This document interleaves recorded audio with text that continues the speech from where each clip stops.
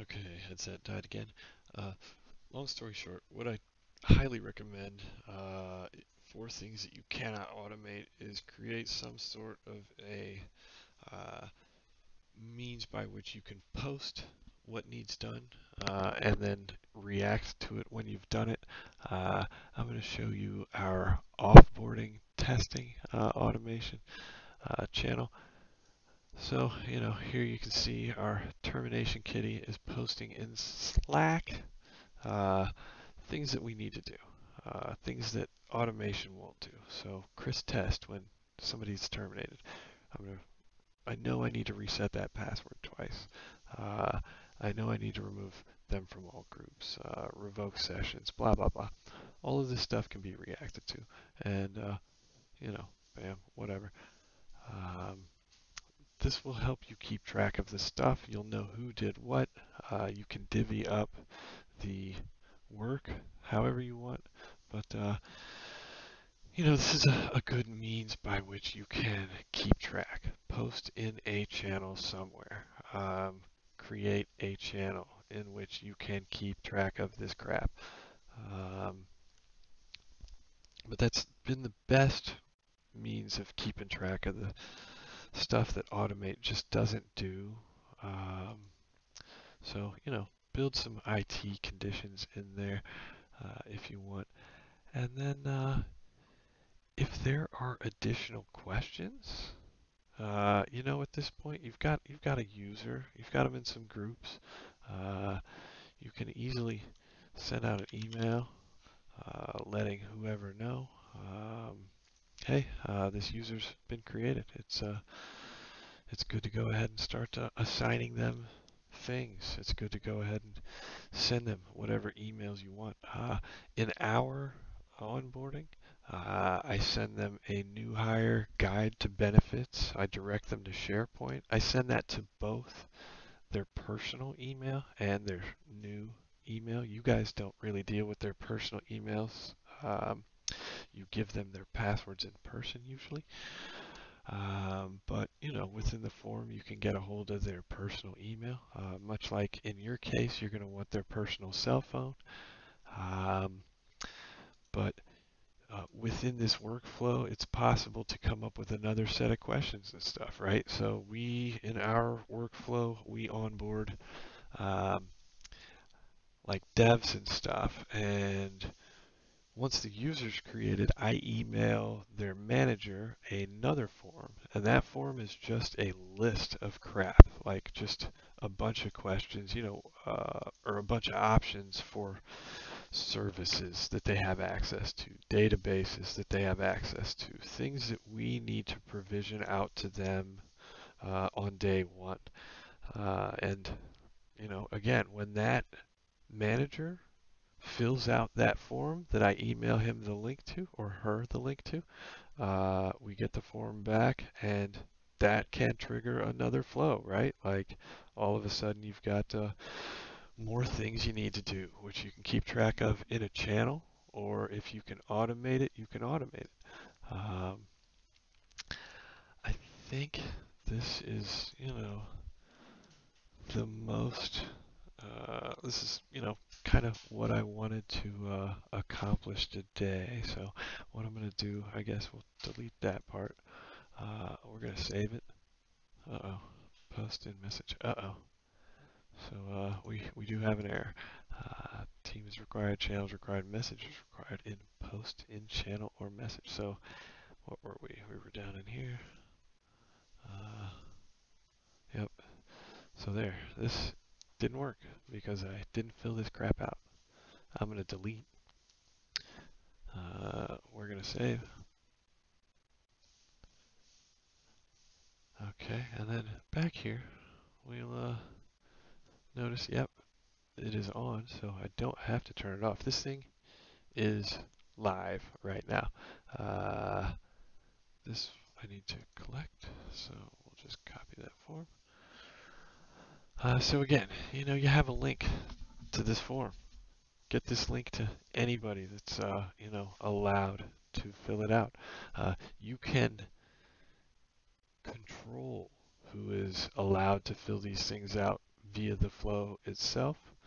Uh, early in the process, you can definitely, you know, have a step that checks the email form responder's email and you know, if it's not somebody you want uh, filling out the form, uh, that's a no. Uh, but again, you've already got a condition here saying, hey, uh, what's, uh, does this look good, approve it or deny? So it, it doesn't really matter. Uh, what I'm going to do, I've copied this. We'll just go.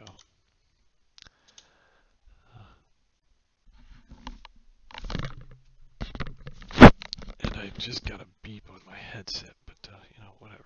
If it dies, it dies. Uh, Tyler. Tyler Craig. Start date. Uh, you know, HR's uh, letting you know he's starting tomorrow. Tomorrow at 6, 6 a.m. Uh, T. Okay. There we go. Uh, leaves the boss. Uh, he's in sales.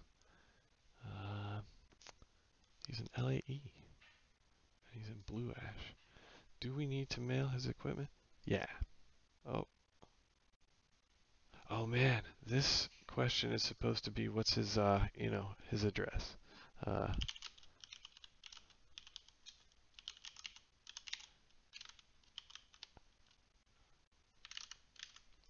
uh, that's garbage. Uh, so, boom. That was, uh, that's what happens when you fill out that form. So, let's just go ahead and, uh, we'll open up this form. We have one response that you can, you can track this stuff through here. It creates an Excel sheet. Um, let's see, can I view it? Uh, I'll just open it in Excel.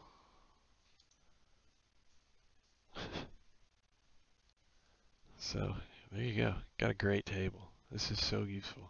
Uh, you can throw this up in SharePoint. This will keep track of shit. It's wonderful. So uh, harness the power of this spreadsheet. Uh, took me a minute and 11 seconds to create that user. Let's go over here. Uh, let's just refresh. Fuck me, that flow's running. Started running a minute ago. Uh, this gives us a place to kind of jump in, see what's going on. Okay, looks like it's, we got the response, we pulled the details. Oh man, some asshole is out there who should be approving. Oh, thank God this didn't take 10 minutes. So here's what the email looks like. Uh, create Tyler Craig you can see these are the details that I put in there. You know, role, start date department, do it. Uh, I'm going to approve.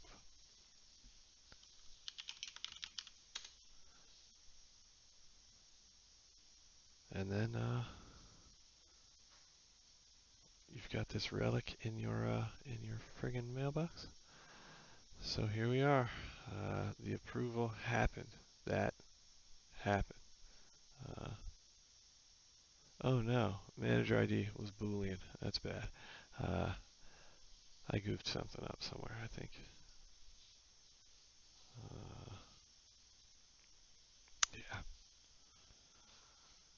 So, looks like uh, I left uh, manager ID as a boolean, which is a true-false statement.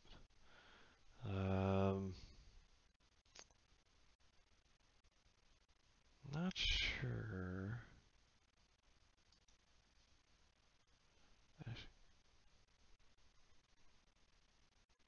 Hmm, okay. So let's just, uh, you know, that that flow failed. This is uh, this is what happens. You screw shit up, or well, I do all the time. Uh, this was the one boolean. Nah, we want a string, just like the rest. Uh, look at all the strings. Save. So now that we've saved, uh, let's just go ahead and from here we'll test. We're going to manually trigger that. Uh, or well, let's trigger. automatically with the recently used trigger. Failed, the one that we just failed. Go. Now, uh, yeah, again, we're gonna uh, sit here and wait for MicroSuck to email. Oh, MicroSuck has already emailed me. Approve. Now again, in the comments here, what you could do if you really like, uh, we're getting deep. Uh, see this, this stuff? Let's say all that was wrong. Let's say the roll was wrong. Roll? No. He's not a LAE. He's a dipwad. Uh, start date? Oh, you dummies. No. Start date's supposed to be uh, the 20th, the day after the next. Uh, you can pull this data from this response, put it back into the flow, and adjust data. Um, it can get as deep as you're willing to step. Uh, oh no! Oh, it had created the user. Oh, I'm a dildo. Uh, okay. Man, I'm so bad at this. Uh, there, there he is. Tyler Craig. Delete. Yeah. Fuck that guy. Let's see if we can't uh, successfully get this flow to run at least once. Uh, so hmm, should at least contain one trigger and one action. It definitely does.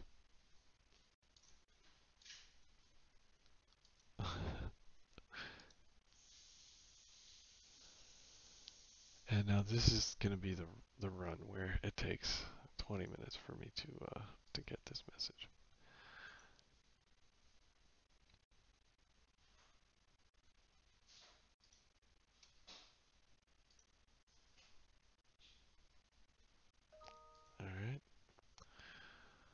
Approve.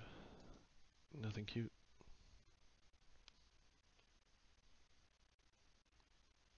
Okay, so uh, going back to the flow,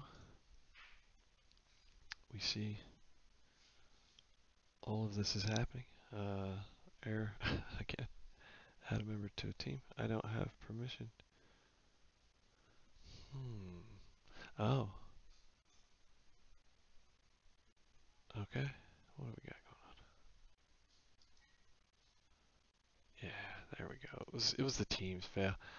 Um, I don't know if it's because my connector's not signed.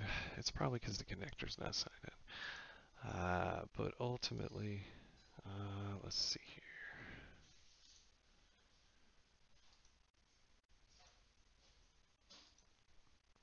Uh,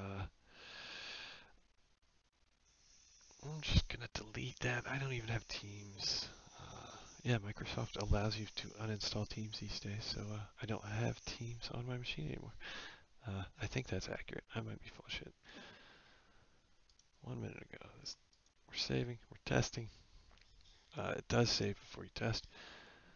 Uh, just for God's sake, can I please successfully create a user? No, I can't actually.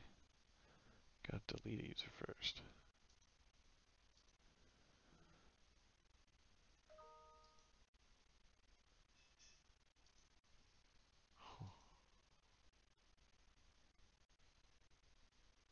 Hmm, okay, I think it's just taking a second for it to uh,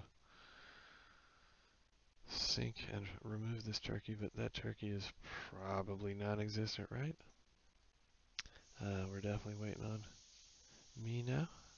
Uh, I, I approve. I promise. Alright, the approval. All the variables were initialized. Uh, the users were, alright, there we go. That is a successful run. Uh, and you can see your inputs here, uh, which is always real cool you can use this stuff to uh, debug. You can use this stuff to make sure things are working. Uh, there's the password we generated, kek four six six zero three six eight See? Um, yeah, all that fun stuff. Uh, display name. Uh, there's this email. But yeah, we have successfully uh, created a user. Oh, you know what we didn't do? Uh, let's do, uh, this is in the manager stuff, right? Why didn't we do this? Uh, add an action. Assign. Damn it, Azure AD assign.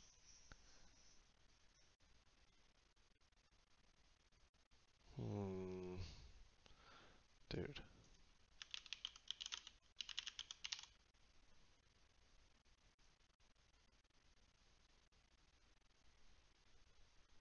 Huh. Pain in the ass. Uh, we need to assign that shit, right? Uh, so we're going to assign to our user our manager ID. Again, that's the variable uh, that we set. I'm going to save.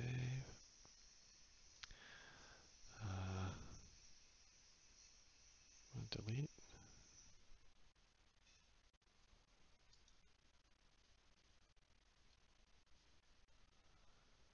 Uh, we're going to go back to users this time. Uh, we're just going to uh, flow this one out again. Let's do it again.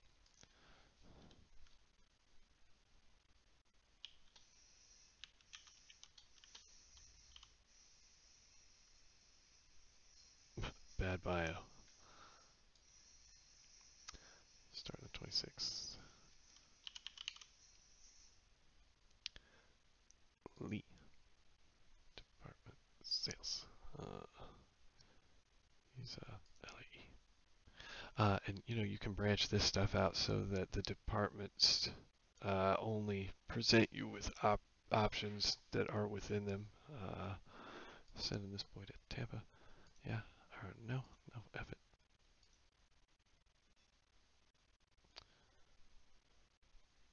Jesus. Could I possibly authenticate any more within this short amount of time?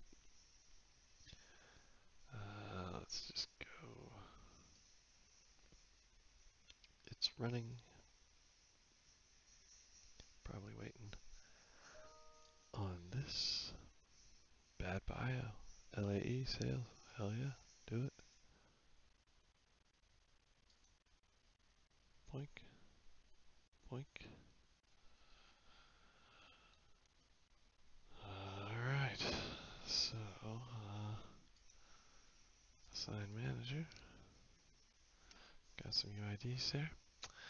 Uh, looks to me like we have a new user named Bad Bio. Uh,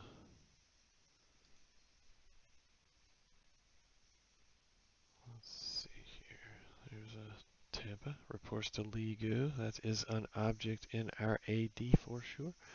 Uh, Tampa sales. All this crap's working. Wonderful. Um, let's delete this turkey and uh, go eat some French toast with my most wonderful wife.